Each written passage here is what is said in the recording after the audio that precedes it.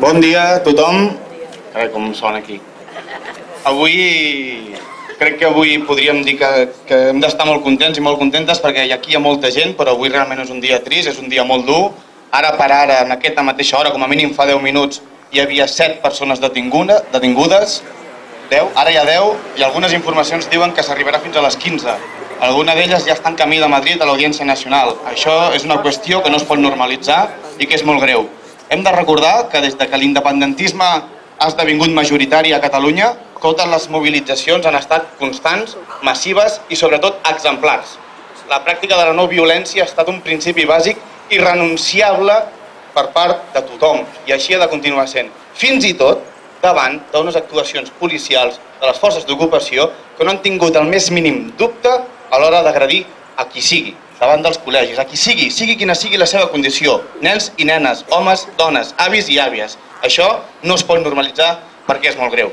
De fet, l'estat espanyol està en totes les seves formes, ha engegat tot un procés de criminalització de, de la, del moviment independentista, està socialitzant un relat, està creant un relat que pretén justificar la repressió sense límits. Doncs aquesta, aquesta és la millor resposta, que siguem tanta gent als carrers, ara, al vespre, si es convoquen concentracions, i demà al matí al jutjat amb un altre company independentista que també se l'ha citat. Per tant, aquesta és la millor resposta.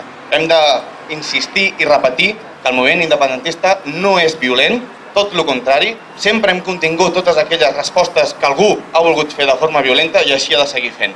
Avui s'ha d'agrair que porteu una proposta de penjar la, el llaç groc a la Diputació de Tarragona. Així ha de ser. Nosaltres al gener ho vam proposar, no va poder tirar endavant. Però hi ha una altra cosa que hem de recordar. Aquí dintre hi ha majoria independentista. Doncs hem d'intentar conjuntament que el govern de la Diputació de Tarragona també sigui independentista. Entre tots i totes ho hem d'aconseguir perquè des de tots els espais, però sobretot des del carrer, és com aconseguirem la independència del nostre país. Moltes gràcies i visca la vostra dignitat. Gràcies.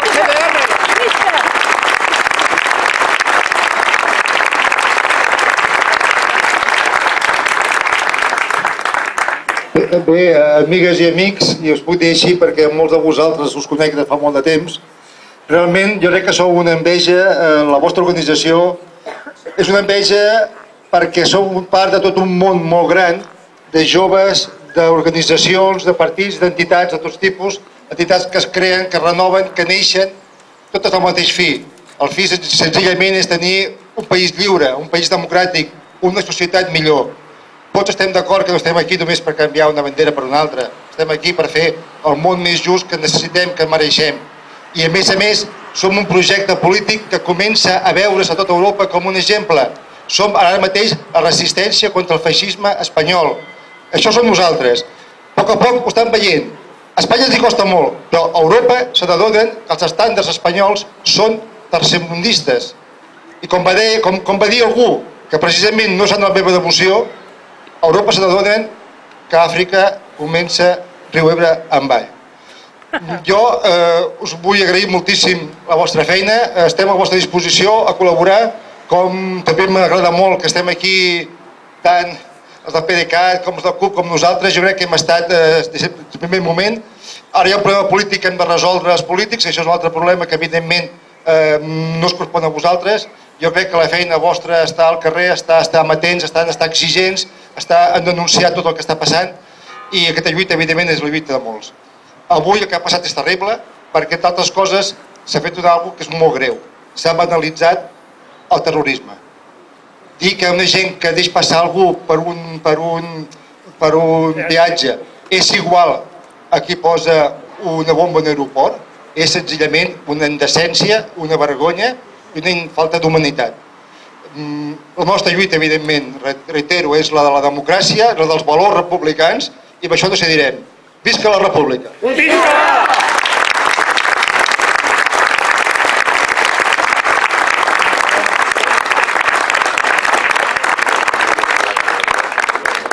Bon dia i moltíssimes gràcies d'estar aquí. Um, jo ara ho pensava quan parlàvem amb els meus companys, vosaltres ens doneu una lliçó als polítics. Aquí només som tres partits ara mateix. Hauríem de ser-hi tots. Hauríem de ser-hi tots. Al carrer, quan sortiu vosaltres, quan surt altra gent, hi ha gent que és independent, hi ha gent que no ho és. tothom surt al carrer. Tothom. Hi ha gent amb diferents idees polítiques, de partits. Poden tenir matisos o no, però tots sortiu al carrer, perquè tots teniu clar que l'important és això, la llibertat dels presos polítics. L'important és que hi ha persones que estan empresonades per pensar, per tenir uns pensaments. I això no es pot permetre, i per això sortim al carrer. I els partits, doncs, bueno, costa més. I per això els necessitem més que mai. Perquè realment aquesta lluita, aquesta lluita del poble català, de la llibertat del poble català, de la democràcia, de la pau, de la justícia, que és per que sortim al carrer, només l'aconseguirem així, pacíficament, dia a dia, en constància, en perseverància, i sabem que no podrem amb nosaltres, perquè no poden empresonar un poble. Això és impossible. Això és impossible. I per tant, doncs, eh, això és el que hem d'aconseguir cada dia, de que hi hagi més gent al carrer. Moltíssimes gràcies per la feina que feu, perquè a més vosaltres sou del grup constant.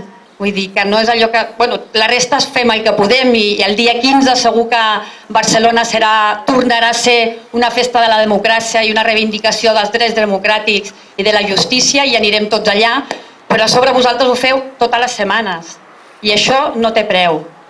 Això realment és el que demostra, demostra la nostra força i no ho entenen, no ens coneixen, no ho saben, que no pararà mai ningú això, no ho pararan, no poden parar els jutges, no poden parar la policia, no poden parar la violència. I per tant, doncs, moltíssimes gràcies per ser-hi cada dia al carrer i fins que fins endavant, fins que ho aconseguim, fins que estiguin tots a casa amb les seves famílies. Moltíssimes gràcies.